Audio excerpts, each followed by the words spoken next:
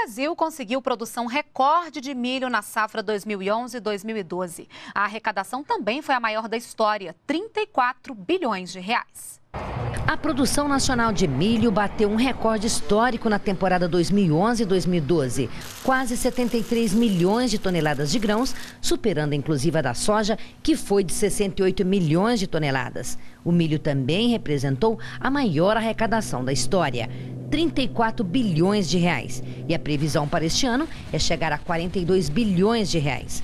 Esse resultado se deve principalmente ao Centro-Oeste, que teve um aumento de 83,4% no valor da produção em relação à safra passada e foi o maior entre todas as regiões do país quase 14 bilhões e meio, seguido pelo Sul com mais de 10 bilhões e Sudeste com mais de 5 bilhões de reais. De acordo com o Ministério da Agricultura, Pecuária e Abastecimento, esses resultados poderiam ter sido ainda melhores se a seca nas regiões Sul e Nordeste não tivesse afetado importantes estados produtores como o Rio Grande do Sul.